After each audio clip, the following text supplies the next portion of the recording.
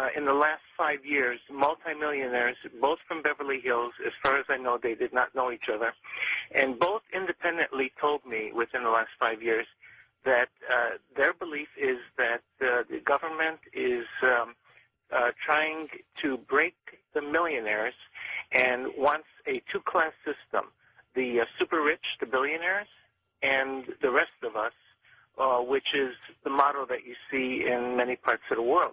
I'd like to get your opinion of that, and I'd also like to get your opinion of the military base camps, which are uh, reportedly being reconditioned, remodeled, call it what you wish. And uh, do you believe that's for uh, warehousing people, or do you think we're headed for another? All right, let me answer that one for you, Gerald, that second question. And, you know, based on our number of interviews with guests who have looked into this, they truly believe that a lot of these military bases are being converted to camps for us in case things get out of control. Five years ago, Gerald, I would have laughed about it. I'm not laughing anymore. I'm I'm in that camp as well.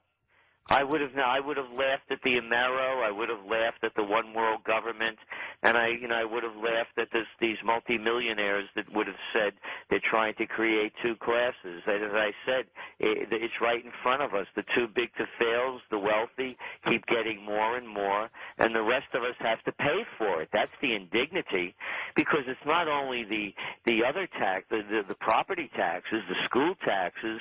They're raising our sales tax. You know what they're doing in New York now, they're coming out with new transit cars where you can't sit down so they could squeeze more people into it. At the same time, of course, they're going to be raising fares. How far can they push Americans? What are they trying to do? Are they trying to push us to the point where we have to fight back? I mean, it, it is bizarre because they know they can't keep doing this to people. This is why they're opening these camps and and they they, they know that their people are going to fight back.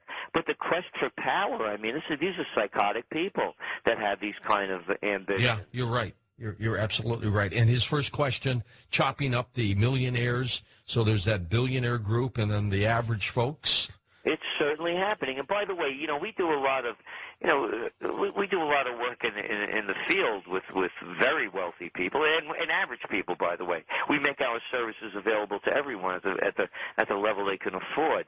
You know, if people go to our website, for example, we give discounts for the Trends Journal if people are having you know difficult financial times. Good for you. They're disabled. Oh, oh yeah and you know we we want everybody to have the information and but the point that i'm making you know people need to realize this. People that right now say they're worth 400 million, 80 million, a billion. I know, I know the groups. They're losing everything, George.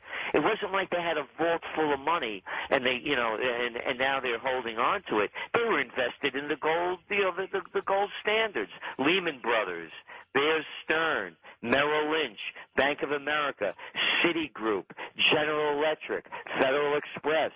They had their money. Their money. Their money's going down the drain like everyone else's, and they're getting. I'm telling you, they're getting hit big time. They're going under in in a it's in a different way, but the pain is the same. Here in.